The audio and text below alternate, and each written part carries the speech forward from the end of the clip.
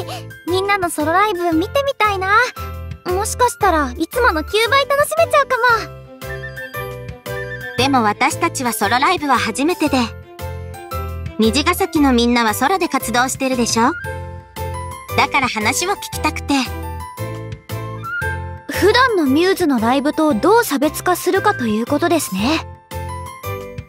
嬉しいな。私たちでよかったら何でも話すよなきちゃんはソロライブについて何かイメージすることはある？そうね。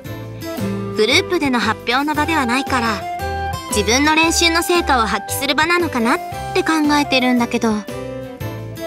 あなたたちはどういう気持ちでライブに向かってるの？マキさんの考えとは少し違いますけどやっぱり見に来てくれる人たちに楽しんでもらいたいっていうのが一番ですでもそれって普段のミューズのライブと変わらないじゃない。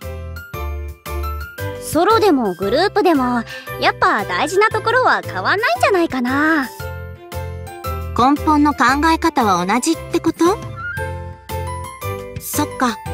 そういう発想はなかったわ。私のペン使う？同じやつだし。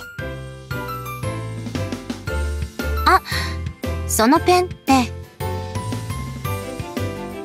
ふーん。仲がいいのね。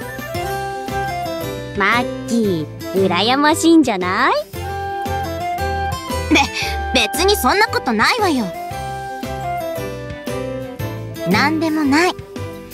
それより早くあなたたちのソロライブの話を聞かせてちょうだい。はい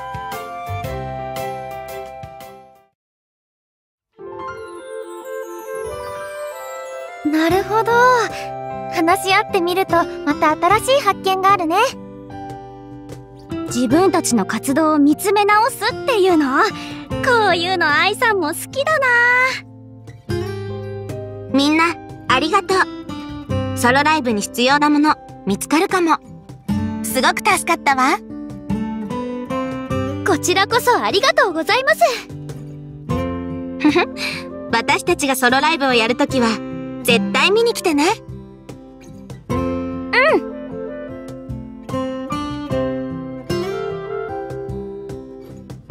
お揃いのペンか。あなたが使ってるペンが歩夢とお揃いだなんて知らなかったわ。